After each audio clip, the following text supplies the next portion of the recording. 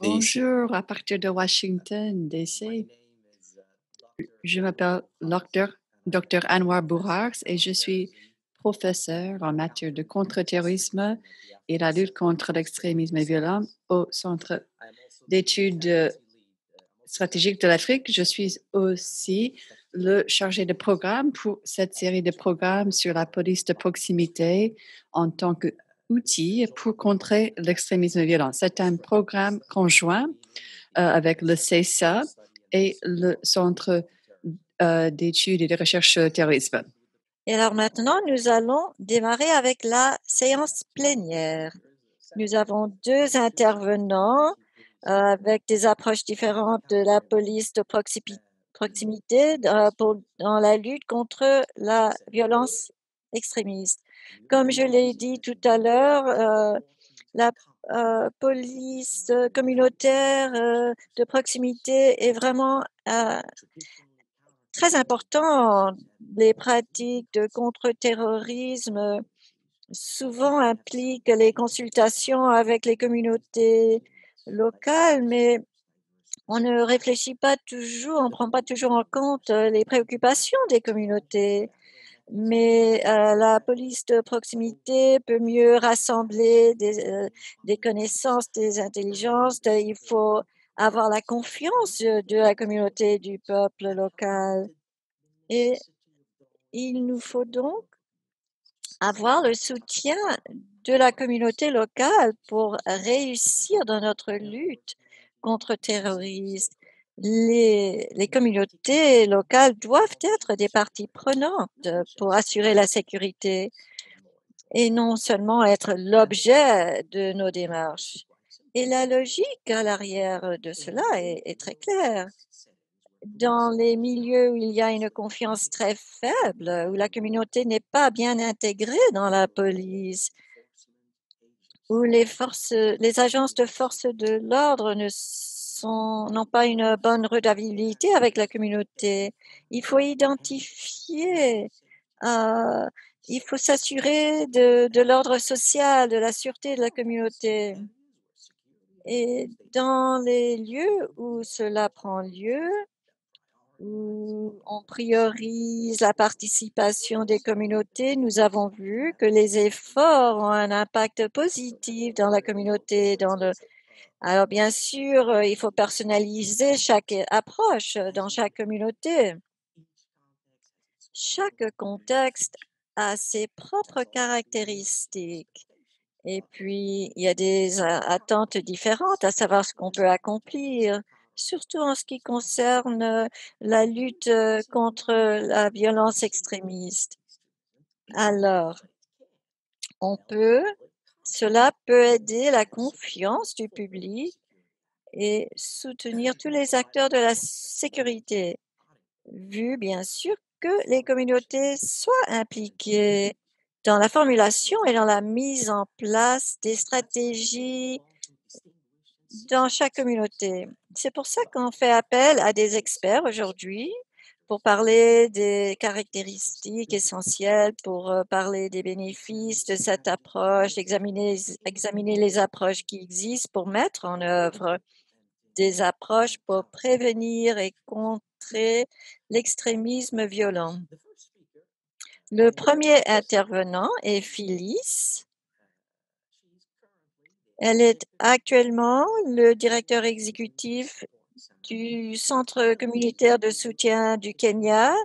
Elle est praticienne dans la lutte contre la violence extrémiste depuis dix ans, qui met en place des projets pour contrer le terrorisme, qui travaille pour renforcer les capacités locales dans la société civile aussi bien. Phyllis joue un rôle important dans le renforcement de la police, euh, le projet de la police au Kenya. Elle a aussi euh, joué un rôle important dans la stratégie pour contrer euh, la violence extrémiste au Kenya. Et elle a fourni donc une perspective de la communauté. Le second intervenant, c'est Dr. Emile Odrako, qui est un professeur ici au centre, au centre d'études euh, stratégiques euh, africains. C'est un, Il est du Burkina Faso de 2008 à 2011. Il a travaillé dans la sécurité nationale où il a initié et développé un programme, une stratégie de sécurité du pays interne. Et il, a, il s'est penché beaucoup sur la gestion de la sécurité et justement la police de proximité. Il fait partie donc de cela à Burkina Faso. Nous allons donc commencer avec Phyllis. Et dans cinq minutes à peu près, Phyllis, est-ce que vous pouvez euh, définir tout d'abord c'est quoi la police de proximité? Quels en sont les principes et les caractéristiques de la police de proximité? Phyllis, à vous la parole. Bonjour, bon après-midi. Au Kenya, c'est l'après-midi. Merci tout d'abord d'avoir nous avoir réunis pour euh, partager, échanger nos expériences sur euh, la police de proximité. Je m'appelle Phyllis Wimmer, je suis le directeur exécutif du soutien de support euh, au Kenya. Pour nous, la police de proximité est un aspect important de fournir la, la sûreté dans nos communautés au Kenya, c'est vu comme et pratiqué comme étant une stratégie euh, de mettre dans la main des citoyens, euh, aussi bien que dans les mains de la, des forces de sécurité, la sécurité. Euh, ce n'est pas une nouvelle démarche pour nous. Nous pratiquons cela depuis très longtemps. Le Kenya a une histoire de brutalité policière, des situations où la police était engagée en fait que pour protéger les intérêts des, de l'État et des politiciens. Alors, nous avons vu ici au Kenya des conflits, bien sûr, euh, et nous avons comme voisins des pays comme tels que la Somalie qui ont aussi eu l'expérience euh, euh, de, violence. Alors, nous avons eu notre part de ce que nous appelons les violations des droits de la personne. Nous avons lutté avec cela depuis de nombreuses années et les communautés ont décidé qu'ils voulaient être impliqués, ils voulaient faire partie de la sécurité. Et cela est arrivé seulement en 2002 lors des élections générales hein, avec le nouveau gouvernement mis en place. Et une des promesses de la campagne du nouveau gouvernement était d'avoir des réformes de la, police. Et en effet, en 2002, depuis 2002, le Kenya a vécu des formes différentes de, la police.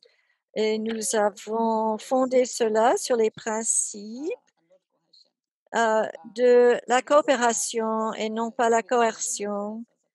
La police doit fournir la sécurité au peuple et le peuple paye des impôts pour cela, n'est-ce pas? Alors nous voulons parler de, Nous avons passé d'une force oppressive à une force coopératrice.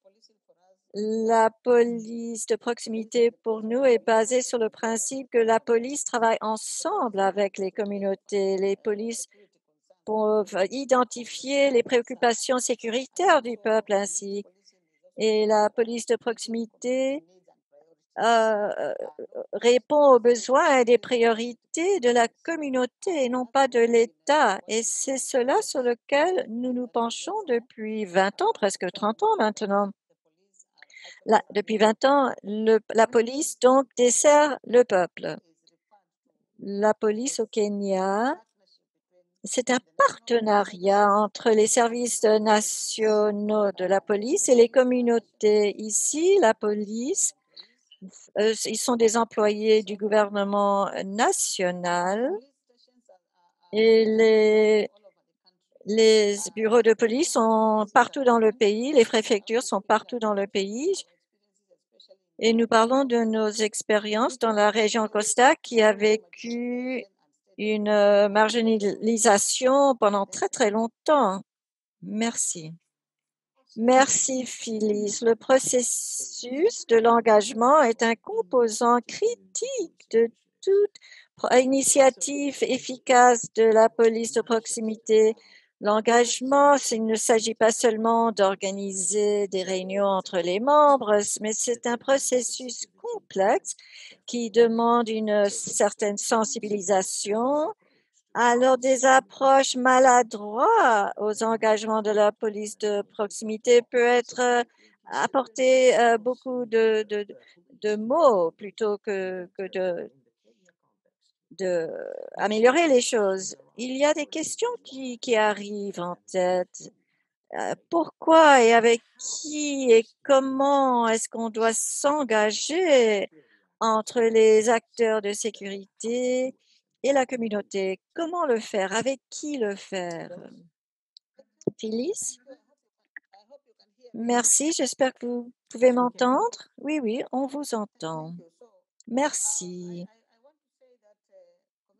La police de proximité au Kenya a, beaucoup grandi. Au départ, c'était les préoccupations euh, de la criminalité et, la sécurité des voisinages. Mais en 2011, nous avons commencé à, connaître le terrorisme beaucoup plus. Il est devenu très important pour que la police travaille avec la communauté.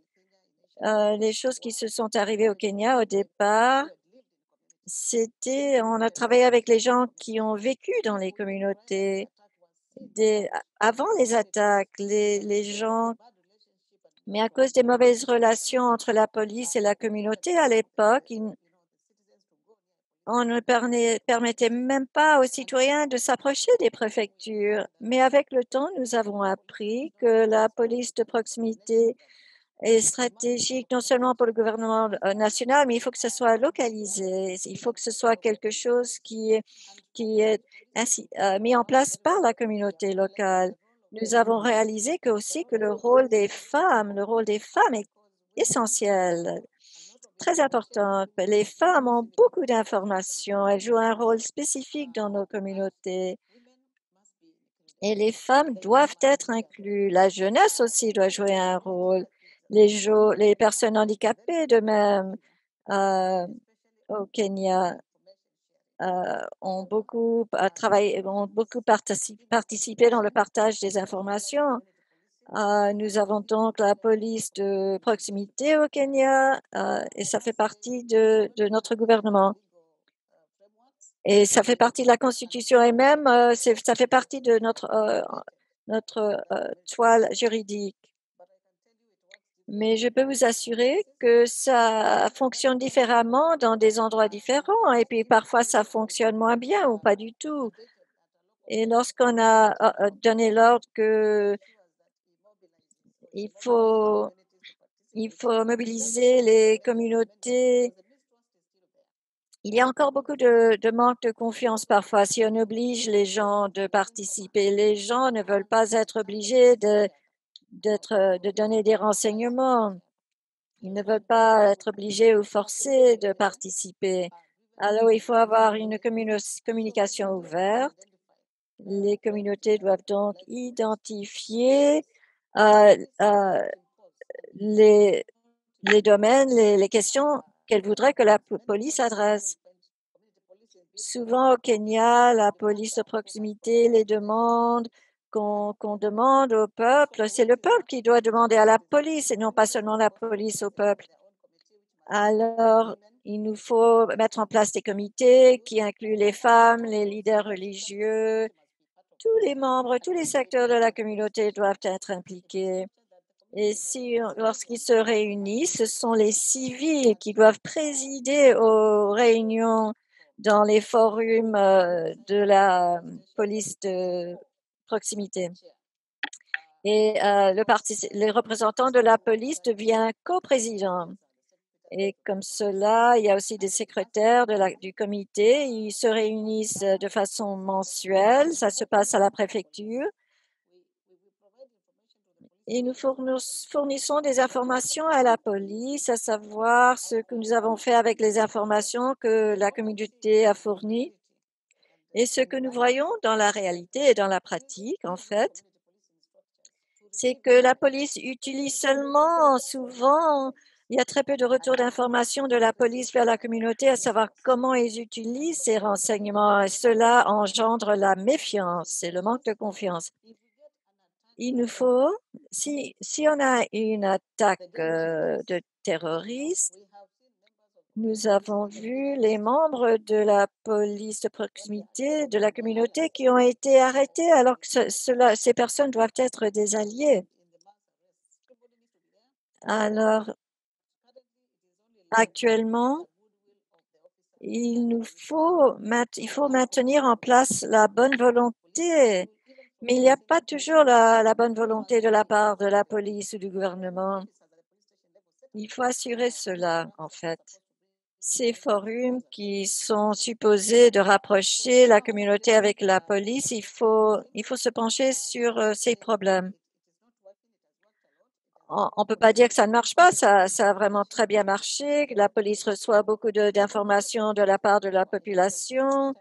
Euh, ceci a bien fonctionné, mais ceci dit, il y a encore de la méfiance de la part du, des populations et il faut euh, continuer à travailler sur ce problème.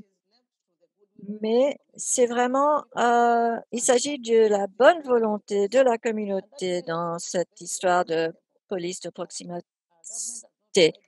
Et c'est, euh, il faut aussi que le gouvernement fournisse les ressources pour assurer que la police de proximité puisse fonctionner, que ce soit une affaire durable, que les préfectures.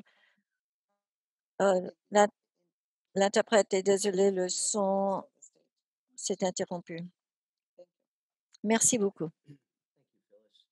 Merci, Phyllis. Vous avez tout à fait raison. L'approche locale pour empêcher euh, la violence euh, extrémiste est nécessaire dans les communautés. Donc, des approches orientées euh, de, la, de la communauté qui ont vu beaucoup de réussites. Ils ont reçu le soutien et la confiance des communautés locales pour la mise en œuvre de la police de proximité. Je ne sais pas si cela a eu lieu dans la formulation, dans, dans les mesures d'évaluation ou non. Si vous pourriez adresser cela rapidement, euh, concernant les communautés qui étaient impliquées dans la formulation et la mise en œuvre, la mise en place de ces mesures euh, antiterrorisme pour voir euh, l'efficacité de ces mesures. Merci. Comme vous le savez, le Kenya a formulé sa première stratégie pour contrer la violence extrême en 2016. La formulation de ce plan d'action, de ces stratégies, a ouvert les portes à des comtés au niveau local de, de mettre en place des plans d'action communautaires. Et ces plans d'action ont été euh, euh, euh, mis en place par les sociétés civiles et c'est les opportunités où le gouvernement et la société civile peuvent travailler ensemble pour identifier les moteurs principaux de de terrorisme, de radicalisation, et ceci nous donne une opportunité. Donc, j'ai fait partie de la plupart des plans d'action au Kenya, où la, société civile peut être en avant, mobiliser tous les secteurs de la société, les femmes, la jeunesse, tout le monde dans la communauté et les leaders euh, autochtones pour se rassembler, réfléchir, à savoir Qu'est-ce que ça veut dire la menace terroriste pour ces personnes? Et comment peut-on travailler avec le gouvernement pour adresser les moteurs, les inciteurs euh, qui poussent les gens au terrorisme? Et voici un exemple classique pour le Kenya. Chaque comté a son plan d'action et on se retrouve chaque trimestre pour le comité qui est menée par les commissaires euh, de, chaque district, par les sociétés civiles. On se penche sur les menaces euh, terroristes et trouver des, plans d'action pour y contrer.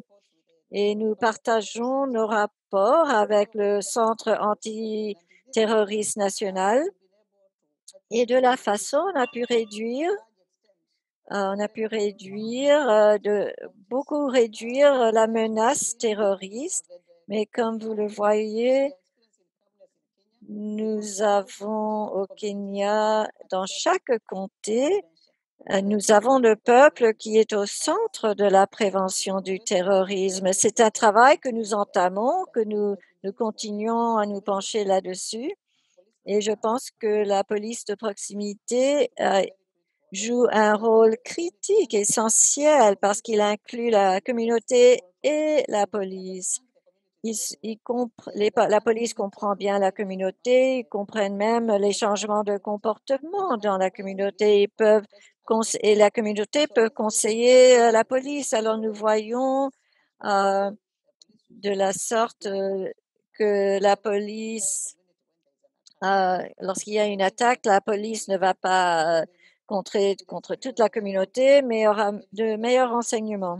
Et nous espérons que l'année prochaine, cela va s'améliorer encore davantage. Merci beaucoup, Phyllis, euh, d'avoir bien expliqué, souligné l'idée que le terrorisme, l'extrémisme violent sont des menaces à la sécurité des communautés.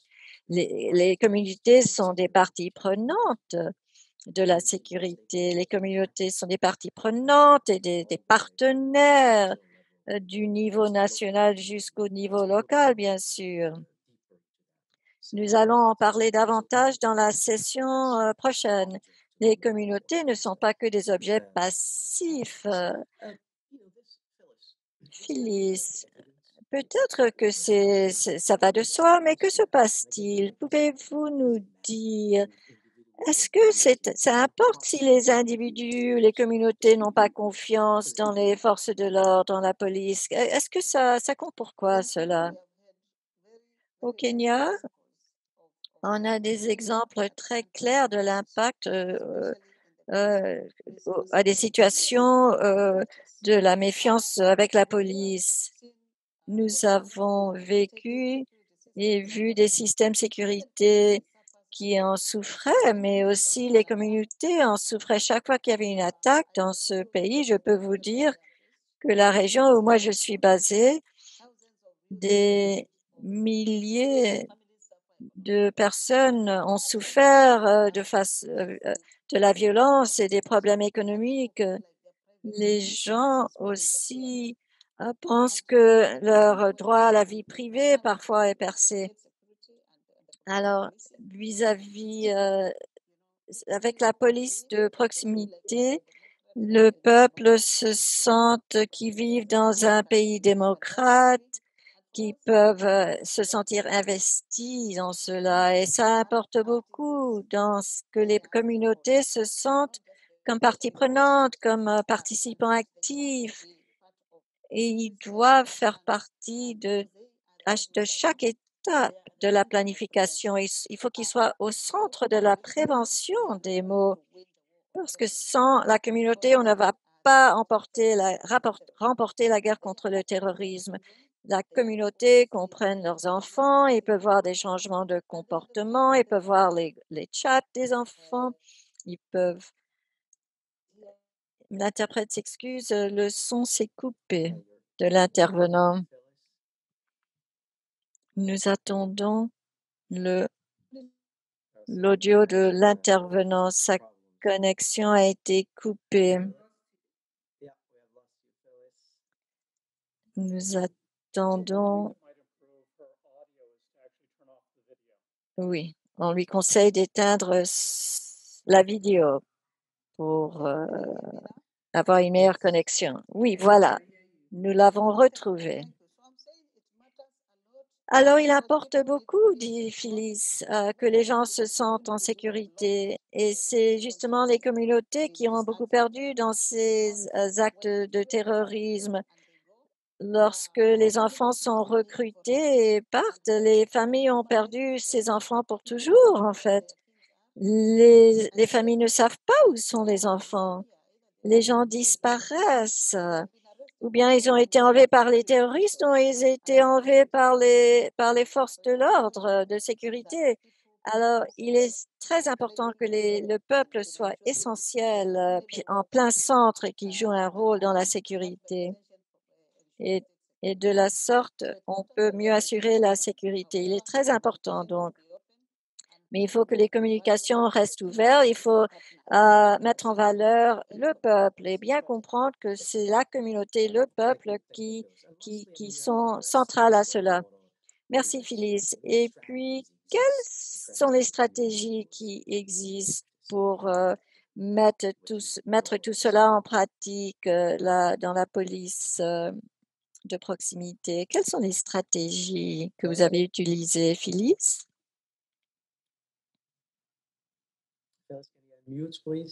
Phyllis, vous pouvez euh, allumer votre micro. Vous êtes en sourdine, on ne vous entend pas. Excusez-moi. Pardon, j'ai quelques petits euh, problèmes techniques. Quelle était la question, s'il vous plaît? Vous avez plus ou moins parlé. Euh, quelles sont les stratégies qui existent pour traduire toutes ces pratiques, les mettre en place en pratique de la police de proximité? Quelles sont les stratégies que vous avez entreprises? Il y a beaucoup d'initiatives au Kenya, comme je l'ai mentionné. Chaque localité est unique et emploie des stratégies différentes. Actuellement, les communautés sont très sensibilisées, très conscientes du besoin de la protection et des protections des droits de la personne. Notre constitution offre invite la des peuples dans la sécurité, pas seulement dans les élections, mais dans la sécurité. Nous avons beaucoup d'organisations communautaires qui demandent à la police de garder cela en tête. Et, parfois ça marche, parfois non. La police doit savoir que les populations ont besoin d'être protégées. Et et, que l'accès aux informations est le droit du peuple. Euh, nous voyons donc dans certains endroits au Kenya, la police de proximité marche bien, mais il y a encore beaucoup de défis parce que si nous n'avons pas un encadrement juridique euh, bien en place, que, que la police comprenne bien comment faire cela, comment on peut faire le suivi, comment on peut contrôler la police, euh, c'est pas toujours pas toujours entrepris. Il faut mettre en place une politique pour euh, bien assurer que la police soit redevable aux populations et, euh, il faut, c'est une nouvelle loi aussi qui n'a pas encore été adoptée. Dans beaucoup de communautés, les gens voient la valeur de leur participation et la police commence à apprécier que ces démarches euh, peuvent bien le servir pour fournir la sécurité euh, et ils vont recevoir les informations de la communauté seulement si la communauté se sent partenaire actif. Merci beaucoup, Phyllis. Merci. Euh, Phyllis a parlé des principaux éléments des acteurs de sécurité il faut qu'ils s'engagent, qu'ils se mobilisent. Elle a donné des exemples euh, concrets. Communities concerns, they respond to communities' needs. Uh, they respect and protect the rights of community members, and, and, most importantly, they need to be accountable for their outcome, uh, for their actions, right, and the outcome of these actions. So, uh, you know, police engagement. Donc, l'engagement de la police euh, l'engagement avec euh, le public, des citoyens, comme Phyllis l'a dit, doit être donc inclusif et il faut donc euh, intégrer toute une gamme d'acteurs dans la communauté. Et à partir de la base, comme elle a dit, les jeunes et d'autres groupes aussi. Maintenant, nous passons au deuxième intervenant, Dr. Émile Outrago.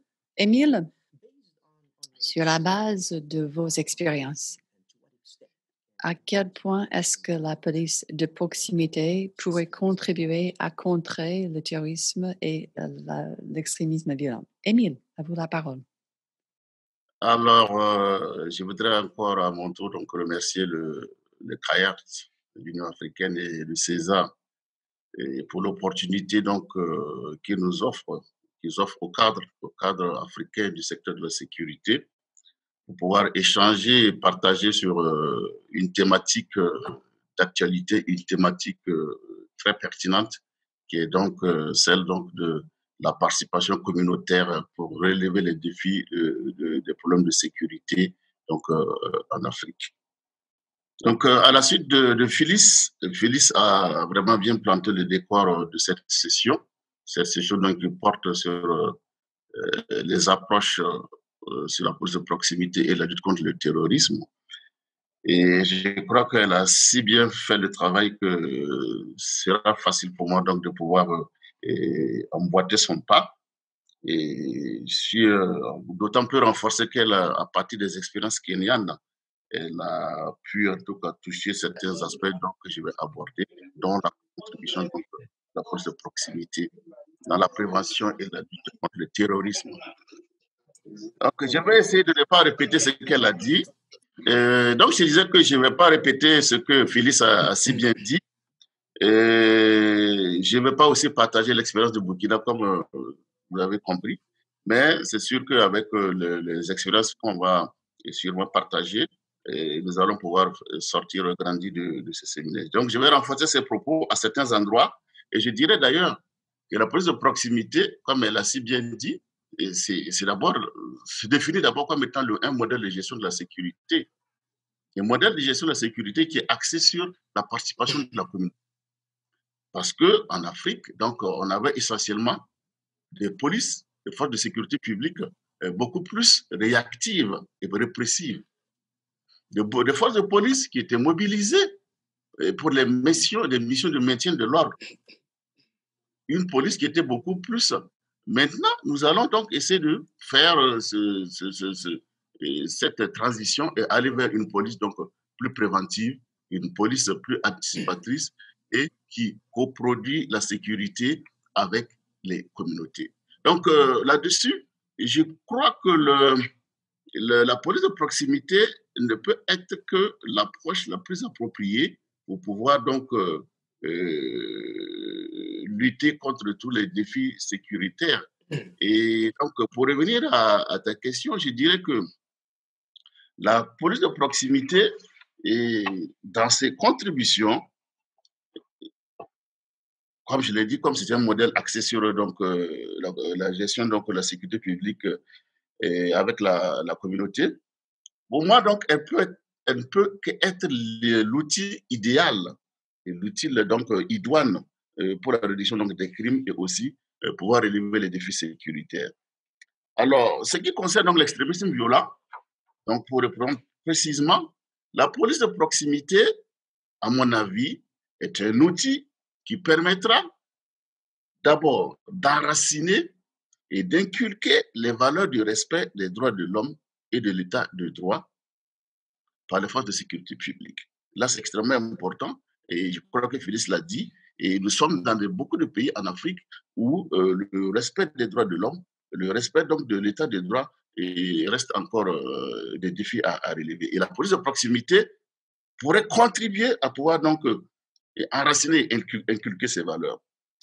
Et aussi comme contribution, la police de proximité pourra donc améliorer la perception et aussi l'interaction entre les forces de sécurité publiques qui est d'ailleurs la condition sine qua non pour un soutien effectif. Pour avoir un soutien effectif de la population et des communautés, il faut donc une bonne perception d'abord des forces de sécurité par la population, et ensuite, donc euh, faciliter l'interaction entre ces forces et la population. Et c'est à ce prix donc que nous pourrons donc avoir un soutien effectif à la lutte et à la prévention contre l'extrémisme violent et le terrorisme. Un autre aspect, c'est la communication. Nos forces de défense et de sécurité, comme vous le savez très bien, il y a des lacunes au niveau de la communication et la police de proximité pourra donc corriger ce, déficit de communication et pourra favoriser la sensibilisation sur le terrorisme et l'extrémisme violent. Ça pourra ensuite, par la suite, renforcer la vigilance et la résilience la population face au terrorisme. Et enfin, le dernier point, et pas le moindre, ça pourra améliorer la connaissance des communautés par les forces de défense et de sécurité. Vous arrivez souvent, on vous envoie dans un, euh, dans un patelin, dans un, dans un coin très reculé, où vous ne connaissez pas du tout les valeurs culturelles, les réalités donc, de, de ce milieu. Et cela complique davantage donc, la mise en œuvre, l'exécution de votre mission. Donc, voici quelques aspects, quelques points positifs que euh, la police de proximité pourrait donc euh, contribuer donc à, dans la lutte contre l'extrémisme euh, violent. Excellent, Emile. And again, you have heard how it's critical. Oui, excellent, merci. Vous avez, oui, vraiment souligné l'importance d'inculquer le respect des droits de la personne. On a parlé du fait que la police de proximité pourrait aider à réduire les actes de violence et le fait aussi de souligner l'état de droit euh, et d'avoir vraiment ces cultures, ces principes euh, inculqués dans la, les dans la population. Et ceci euh, découle de ce que vous avez dit aussi, mais quelles sont les compétences nécessaires pour les acteurs de la sécurité? quelles sont les compétences qui doivent avoir les aptitudes pour contrer efficacement? Le, le, les valeurs de respect des droits de l'homme et aussi euh, le respect donc de, de l'état de droit m'amène à dire que en fait l'objectif ultime de la police de proximité, c'est, viendra avec moi, servir donc euh, la, la, communauté, assurer la protection des biens, ça c'est les missions traditionnelles de la police et des, gendarmes, de la gendarmerie, protection des biens et des personnes et, bien sûr donc la communauté tout entière. Je l'ai dit, malheureusement, les forces de défense et de sécurité, dans la plupart de nos pays, et quand bien même vous avez des missions, par exemple, de visite de quartier que les gendarmeries ont dans ces missions euh, normales, ces, forces de, défense, ces forces de sécurité publique ont été formatées initialement et formées pour protéger primordialement l'État. Et dans cette quête de protection de l'État et des intérêts de la sécurité nationale, elles le font souvent au détriment, malheureusement au détriment donc, euh, de, de, de, de la population qu'elle est censée et parfois donc, euh, protéger et défendre. Et donc, je pense qu'une police donc, de proximité effective et efficace repose donc, sur une confiance mutuelle et un partenariat solide avec la population. Et pour pouvoir atteindre ces objectifs, je crois que nous devons voir aussi bien au niveau de l'État ce qu'il faudrait corriger et aussi au niveau de la déontologie même des forces de sécurité, et des forces de sécurité publique. Donc la sécurité dans un État, si nous sommes d'accord que c'est la sommation de tous les efforts faits dans le sens d'obtenir la paix et la stabilité à l'intérieur donc de, cet État, il faut quand même noter que cette situation restera tributaire des, facteurs essentiels. Et comme je l'ai dit, l'enracinement de l'état de droit, la bonne gouvernance ne pourront jamais sont des conditions, des prérequis pour pouvoir mettre en œuvre une bonne police donc, euh, de, de, proximité. Et je prendrai l'exemple de, de, certains repentis, de certains repentis, et pour vous montrer euh, comment est-ce que ces éléments sont extrêmement importants. Je sais qu'une étude a été faite par ASS au Mali, auprès de certains repentis, donc euh, terroristes euh, repentis. le témoignage était quand même assez illustratif. Il y a un qui dit, là où moi j'ai perdu mes biens parce que j'ai pas d'argent pour donner au juge. Le système est complètement corrompu. Donc voici pourquoi j'ai décidé de rejoindre le groupe terroriste. Et un autre du Mijao, le Mijao donc qui a été dissous ensuite pour former avec Ansardine et ensuite avec Al-Qaïda au Maghreb islamique, un repenti en 2016 qui disait que euh, en écoutant leurs paroles, en les écoutant parler, ils m'ont convaincu, le Moujao bien sûr, ils m'ont convaincu de leur intégrité et de leur approche de la justice. Donc cela était suffisant pour moi pour pouvoir les rejoindre pour cette cause. Et enfin, une étude qui a été faite par le programme des Nations Unies euh, pour le développement, qui a été faite d'ailleurs euh, au Kenya, donc dans le pays de Philis, au Nigeria et en Somalie. Et cette, euh, cette étude a concerné 500 entretiens avec des djihadistes. Laissez-moi vous dire que dans, cette étude a révélé que dans plus de 70% des cas, l'élément déclencheur de leur enrôlement, l'enrôlement donc euh, des djihadistes, était un acte dû à l'État, tel que l'arrestation ou l'exécution d'un proche. Et c'est extrêmement important donc que nous puissions savoir cela.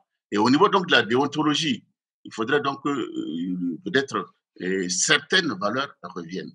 Et c'est extrêmement important pour moi ici de noter que les services de sécurité, malheureusement en Afrique, ont la réputation d'être souvent très peu fréquentables, souvent violents et souvent indexés pour des cas de torture, arrestation arbitraire, corruption et manque de professionnalisme.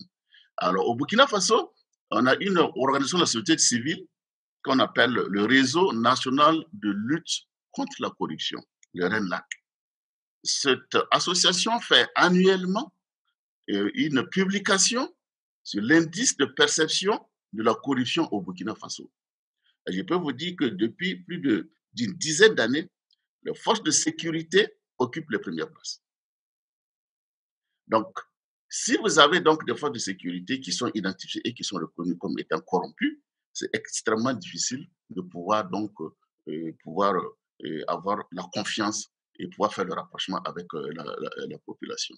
Donc, sous le prétexte souvent aussi de la lutte contre le terrorisme, les forces de défense de sécurité font souvent on recours donc aux exécutions extrajudiciaires, la brutalité. Et je peux donc vous dire que les récentes manifestations que nous avons constatées au Nigeria illustrent exactement ce que donc j'ai dit.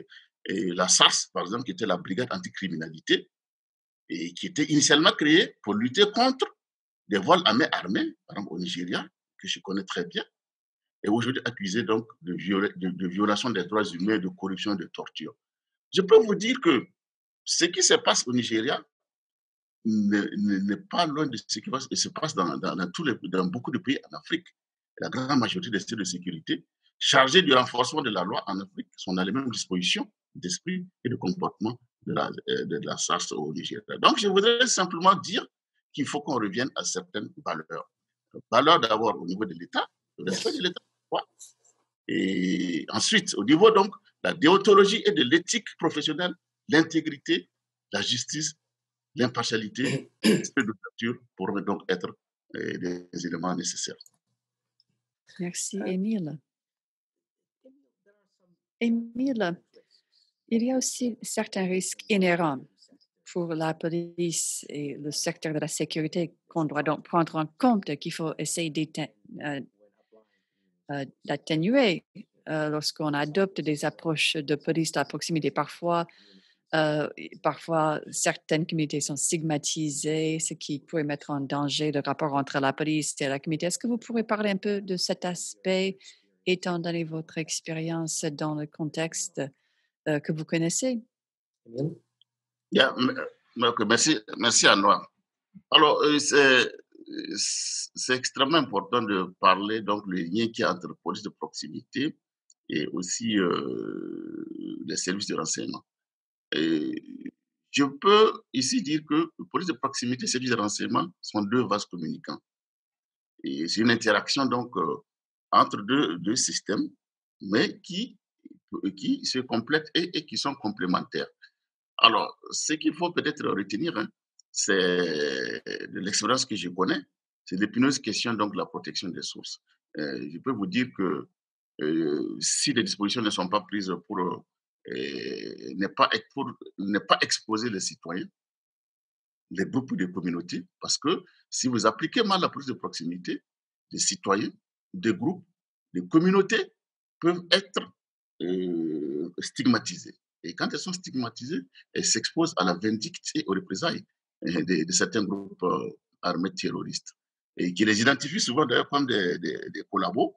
Et je peux vous dire que dans le cas du Burkina Faso, beaucoup de membres de structures communautaires qui font partie du système dispositif de police, de police de proximité, beaucoup de citoyens, et dans le cadre des initiatives locales de sécurité, ont payé et continuent de payer le prix fort euh, de leur vie pour cette euh, collaboration.